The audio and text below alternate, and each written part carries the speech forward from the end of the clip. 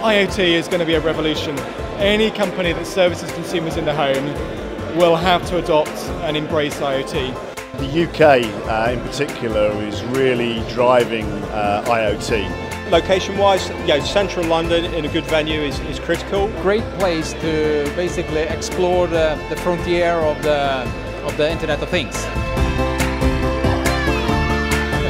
Really interesting collection of kind of organisations and a really unique audience. You know, if we look at what's revolutionary around businesses that have entered, kind of come into the market over the last five years, and everyone says that actually what's the point of difference? Well, it was the, the software interface, the platform behind it.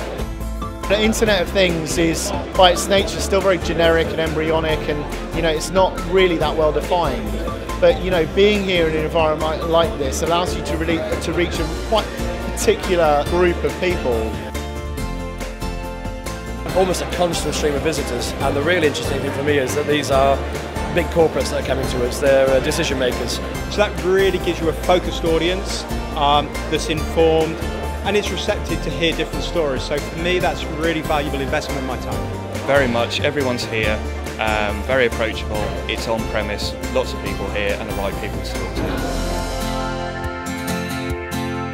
It's an opportunity for us to talk about the realities of what when you go through an IoT journey, to really set ourselves in regards to to show that we're pushing the envelope and we're out in front and we're driving innovation in regards to our business models and activities, really trying to drive shareholder value from that. It's also a great a great opportunity to meet a lot of uh, partners from the IoT ecosystem because as a leader in that IoT space, we are work collaborating with a lot of partners, and most of them were present as well. So it was it was great to to debate and, and uh, create the future, as we say.